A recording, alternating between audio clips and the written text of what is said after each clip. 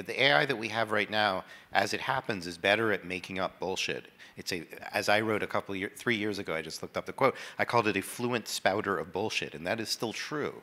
You know, if you work with ChatGPT or Claude or any of these things, and you ask it to generate your own biography, for example, it will make up what colleges you went to and maybe who your advisors were, and it will all sound fine. My favorite example is somebody wrote a biography of me um, with, I think it was ChatGPT, and it alleged that I had a pet chicken named Henrietta from whom I drew inspiration. and then I, I spoke about this in Germany, and someone helped me track down what had happened. So I don't have a pet chicken. And if I did, I wouldn't name her, her Henrietta or him.